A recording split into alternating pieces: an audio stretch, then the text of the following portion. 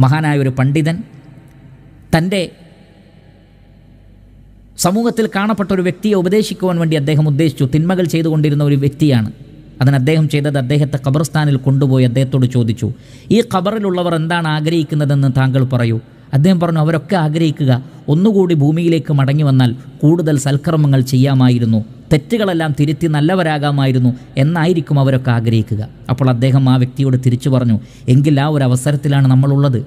നമുക്ക് ആ ചാൻസ് ലഭിച്ചിരിക്കുന്നു. നമ്മൾ ആലോചിച്ച് നോക്കൂ മരണം തൊണ്ടക്കുഴിയിലെത്തിയാൽ പിന്നെ ഒരു സെക്കൻഡ് നമുക്ക് അവധി കിട്ടുകയില്ല. പക്ഷേ ഇപ്പോൾ അള്ളാഹു നമുക്ക് ആയുസ് നൽകിയിട്ടുണ്ട്. ഇതൊരു ചാൻസായി മനസ്സിലാക്കിയിട്ട് പ്രവർത്തിച്ചോളൂ.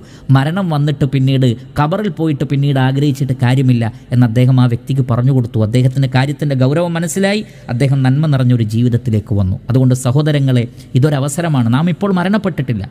ഇത് സംസാരിക്കുന്ന ഞാനും കേൾക്കുന്ന നിങ്ങളും നമ്മൾ മരണപ്പെട്ടിട്ടില്ല. നമുക്ക് അള്ളാഹു അവസരങ്ങൾ നൽകിയിട്ടുണ്ട്.